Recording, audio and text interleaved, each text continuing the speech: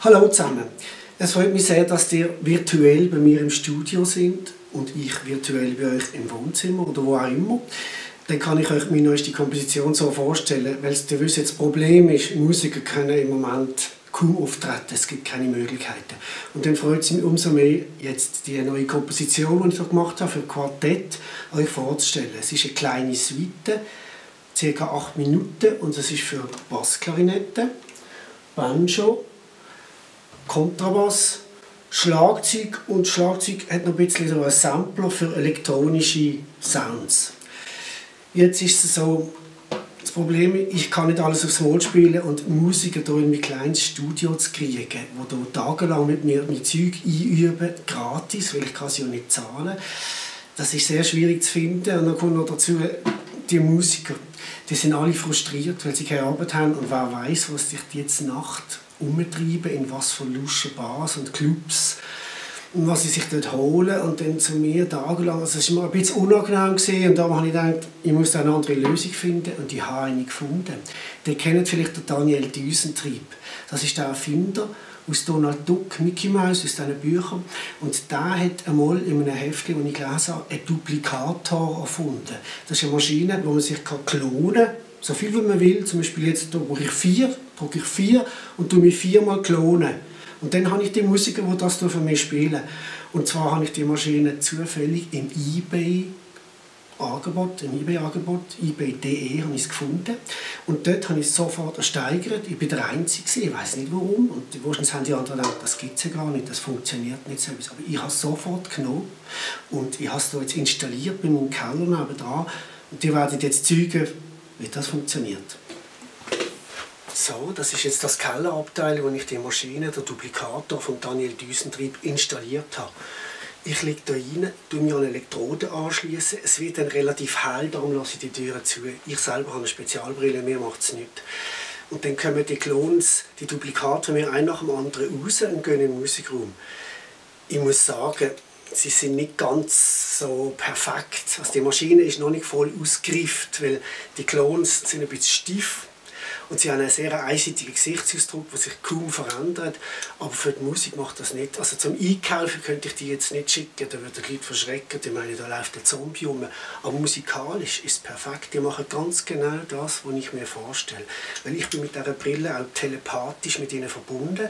Während ich hier innen in diesem Stuhl in einem leicht komatösen Zustand liege, habe ich sie ganz genau im Griff und sie machen ganz genau das, was ich will.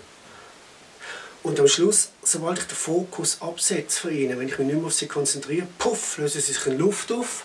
Was auch noch ganz praktisch ist, dass nicht zu viel von mir so rumlaufen die ganze Zeit. Also dann wünsche ich jetzt eine gute Unterhaltung mit meiner neuen Komposition.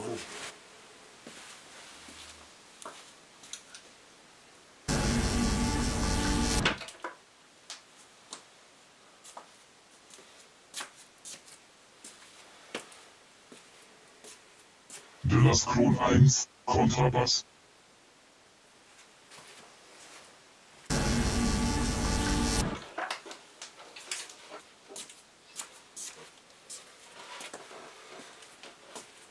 De las Kron 2, Bencho.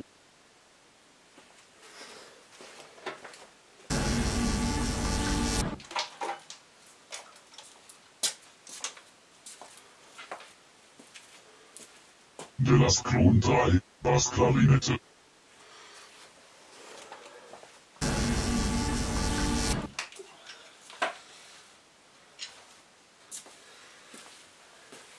De las Kron 4, Schlagzeug und Sample.